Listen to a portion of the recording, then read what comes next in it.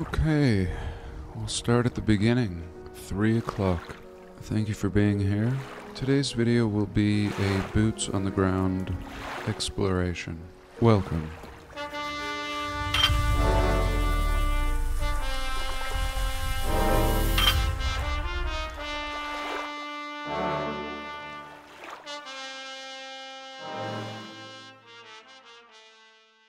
So, I start out with a yearning to go on a trip. It felt like it had been some time. The winter has been long, and we jumped in the rig and got out. Originally, I was going to go to a cracker barrel in Provo and stay there for the night and eat there in the morning. I did stay there for the night, but did not eat. I just didn't have an appetite. But I did check out Provo, and downtown was absolutely awesome. I could have spent a lot more time. It was Sunday, and that's an absolute blessing in Utah. I mean, if you just want to be out and about and not have a lot of people around. But all these buildings were spectacular. I got some drone footage of this library, and it was snowing on and off. The night before had snowed. All my plans seemed to change, but I had no problem with it. I just kind of went with the flow and had a great experience. Found some good evidence for the old world existing here in Provo, which is an hour drive south of Salt Lake City. Here I was tipped off that there were lime kilns, and we went up here to have a look. It was very difficult to determine where to park here. It's just on the side of a mountain, and there's houses all around, and just like the kilns in Salt Lake City, I had a very difficult time accessing a place to park. Once I was up here, well, there were roads and ruins ones everywhere from another time. We would be told the time would be the 1850s. I mean, we can discuss the logistics of Salt Lake City, but again, this is an hour in a car south of Salt Lake City. In 1849, 33 Mormon families from Salt Lake City established Fort Utah, which is essentially Provo today. 33 families, and the ruins that we will look at today are also dated to this time period. So these 33 Mormon families would have also have built these kilns if we're to believe the story. 2023 minus 1850 equals 173 years. So these ruins, according to the mainstream, are 173 years old, if we're to buy that. And here we're approaching the first set of kilns. Just like the other ones, totally buried. So again, everything. It's not just the building of the kilns, but the destruction, the partial burial of these sites also will have to be within this 173 year period. So we had an absolute ball. I mean, this was just a paradise for me, for this research for Chief. All the dogs were off leash and nice. And in fact, I was really, really pleased with Provo. Provo gets the City of the Year award, in my opinion. I was recently talking to somebody, and I told them all I expect of government are good roads. That's it. Just fire everybody else that's not working in the roads department and certainly increase their budget. I don't know. I mean, I would like more, but seeing how things are going, let's just bring it back to the basics. The United States of Roads. That's it. And look at what they were doing back then. Here we go. Here are 1850s ruins. They certainly could have given us perfect roads. And really, my point is, I've done a lot of driving around from small towns to big cities, and the roads are in terrible condition. We can't even maintain the roads today. And here in the 1850s, if we're to believe the story, these horse and wagoners are building ovens like this in the mountains, high in the mountains. So here we go, the first set. I have a little peek inside. More brick, more block sections back here that are inaccessible, but nothing was burnt back there. And just like all the other kilns I viewed in Salt Lake City up in the foothills, these had a very similar look, several spanning across the front, and also seeming to have been partially repaired. One of them seemed like it had been recently used. And really, this led to something very interesting a discovery that I wasn't expecting. There's actually a series of these ruins spanning all up the mountain that I've pinned on the Google Earth, and I have hesitate to share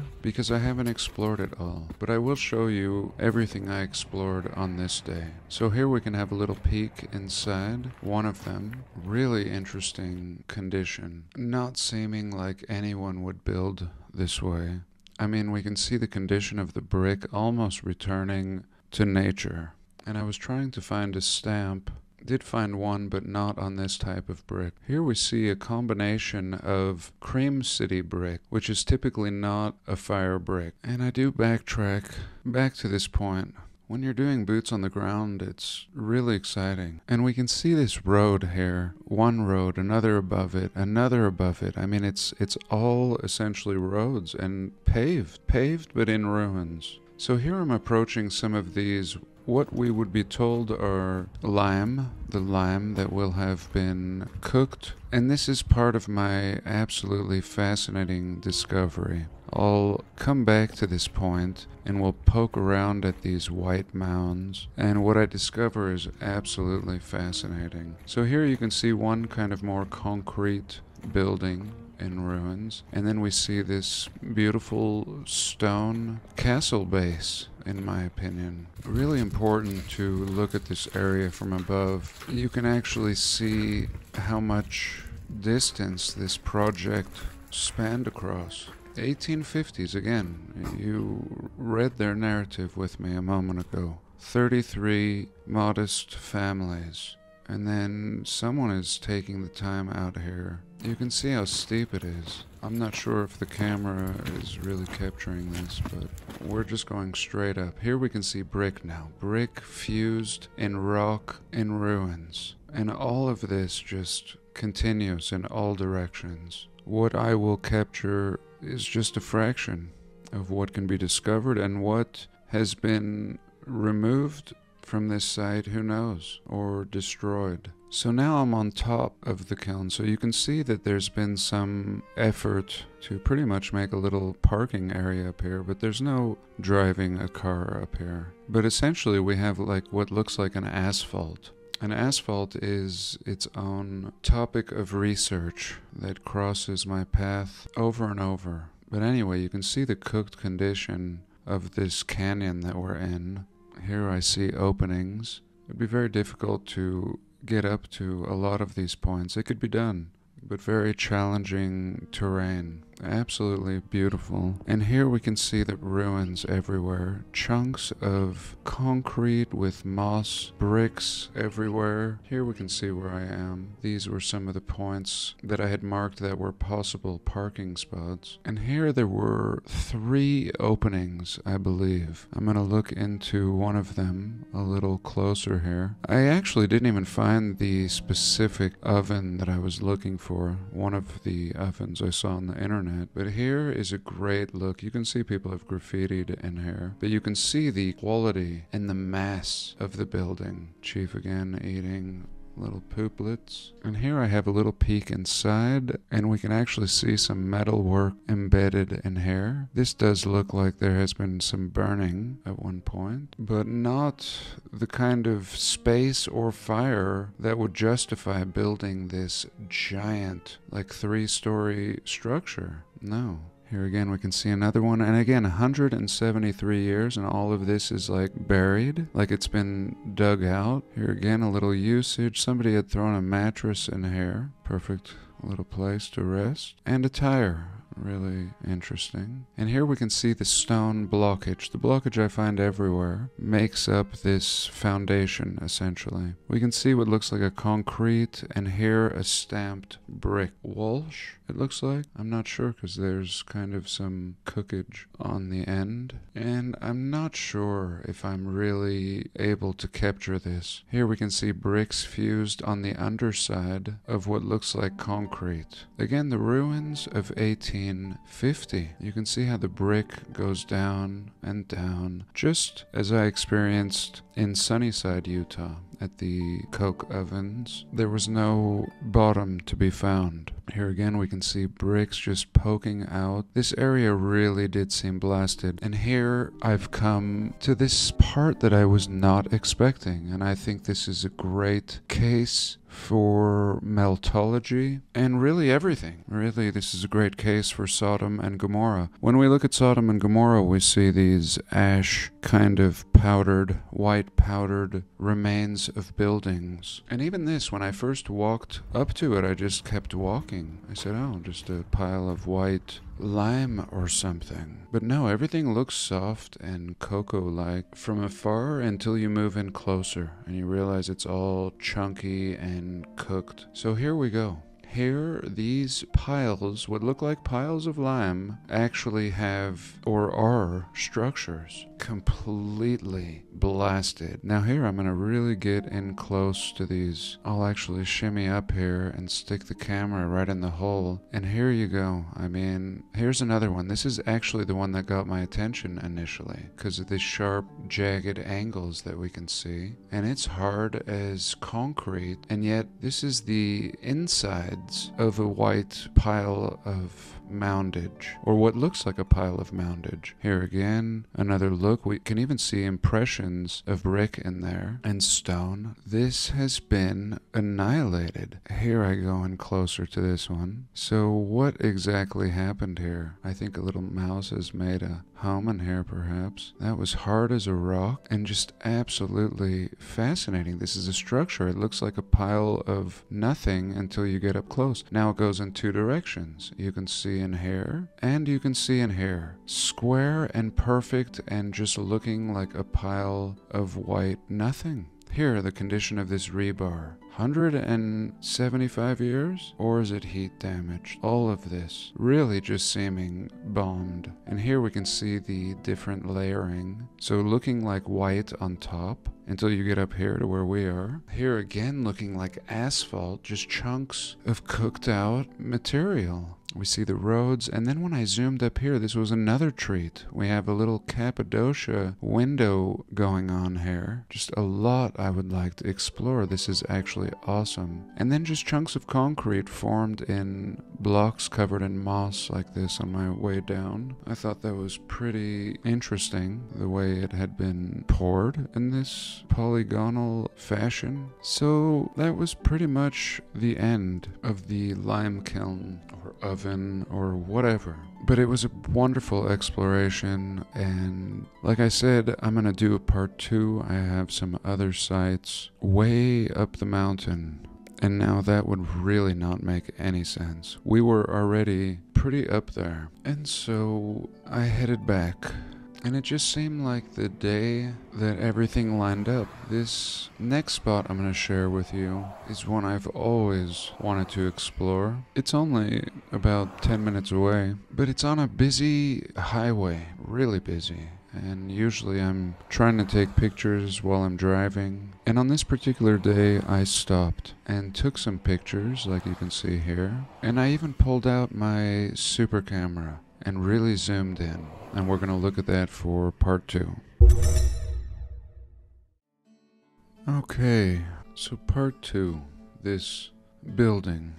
Before I even did this research, I thought this looked like a building with blocks and everything. This most recent visit, it looked like these buildings had collapsed on each other. This one, boom, boom, archway here, filled in, Let's look at some more.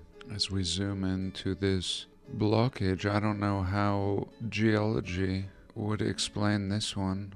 And it's not enough to just look like a melted building, but we have a train running through this baby. And actually, a park, as I discovered at the base. Here I zoom in as much as I can with my phone, but in a minute here I'll show you the footage I took with my zoom lens. A lot of openings and walls jutting out, right angles, and then here, this excellent road or railway slamming into the mountain and through it. You can see how it continues through it, but then doesn't seem to go anywhere unless it takes a right turn into the mountain. But like I said, it's a park, it's all abandoned now. I was certain that it was still in operation all these years, looking so good, but also puzzled. Like I said, it's a very busy road, and you're driving by at 70 miles an hour, cars in front and behind you. And yeah, I'm just sticking my head out the window, trying to get a peek, and I was really glad I pulled over this time. Here you can see very square openings up here that I would have never noticed in my car at 70 miles an hour. Here, a big opening, a big square right here, and then square, square, all melted and cooked, but yet seeing the impressions, no doubt, right? Video is nice because you're just kind of shooting everything, and you can pause like I am now. We can examine all the details, and many of you will notice things that I'm not even seeing let's pause here. And I should show you real quick what it looks like on Google Earth. Just stupid. I mean, clearly somebody has adjusted the contrast to make it uninteresting. Here I'm zooming into the railroad that just slams through the rock, continues, looks like it's been cooked out. Pretty unbelievable. Again, something that's interested me for years. And sometimes you just have to pull over, even if it means slowing down and pissing off the person behind you. F the person behind you. Why are they in such a hurry anyway? To get home to their TV and wife and chicken dinner? No. So here's a picture I took with my zoom lens, and I figured we'd be able to zoom in even more as we are now. And sure as shizzle, look at this. What kind of construction method is this? I mean, at first I thought it was just a clean concrete up here, but it has the same pattern. It's just a little bit better preserved. It has the same pattern as this mountain. Unbelievable. And essentially, this will be the same, but even more well preserved. This is just nuts. Look at this. And let's continue. Look at this. What of this? Why? No, there's no question here. Nobody does this. Not in this old time period. Enormous feat of engineering here in absolute ruins, now a park. What was this like before they turned it into a park? Well, it's pretty clear, but also not. Here I think I zoomed in a little more, so I don't know. This is pretty baffling. Let's look at this part again. It looks like we can see some supports, some columns here. Unbelievable. So here I'll have to fly my drone into next time. So this is really strange. Let me know your thoughts. I could use them. What do you think we're seeing here? This is just the pocket of preservation. In my opinion, it looked like a building, even before seeing this part. Here's that site. Here's Provo. Here is the canyon. Totally unimpressive. Here is where the road or train slammed into the mountain and really uninteresting. Even the rock, you can see how they've overexposed it so we don't see any of the blockage. I mean, it was all made of block, not from this perspective. And lastly, in this little bonus, I thought I would show you the drone footage that I took. I made a video, or at least a segment, about this building in the past. This is the library, and this goes back to the beginning. Oversized today, and most certainly oversized then. We see the mud flood windows, and again, like I started this video out with, 173 years. So all this, I love the brick when it's facing that way. All of this, the ruins of a people that have existed here for 173 years. I love these details too at the top. And these, I don't know what, chimneys, just really decorative. And the tech up here with the spiky balls, all the chimneys appear to have been filled in and really, I think this was industrious. It was never meant to be a library, and these may have been chimneys or smokestacks. And here I think, of course, they've redone the roof, and that's about all they've done. I think even the bricking up of the windows may have been done by the original tenants or occupants of this building. But really beautiful nonetheless. It really caught my eye when I discovered it, and I always wanted to check it out, and it just kind of happened on accident today. Here I zoom in a little closer and show that these two chimneys are not even built in the same fashion. I'm not sure why there's the extra piece jutting out of the back, and it's a very detailed feature, really unnecessary. Clearly, somebody had extra bricks and time. And Provo really feels like an old time period. I mean, even the people are kind of old fashioned, and I like it. Like I said, I really enjoyed my time in Provo and have awarded them the City of the Year. And here you can see the brick, how absolutely devastated it is. We can see like a stonework fused in over the windows, here just frivolously, here tapering up, serving as a support. And whoever built this building built the ovens that we started out the video off with. This is the same thing. It's the same thing that we see up there. The same multi usage of brick. Here, the cream city on the outside, and then more of a traditional red on the inside. And here, it's the entryway to a giant, beautiful building. And up there on the mountain, where I was exploring, we barely see the tops of the arches. In fact, it looked exactly like this arch, and then I went in there, and then there was a smaller archway that they had turned into a makeshift kiln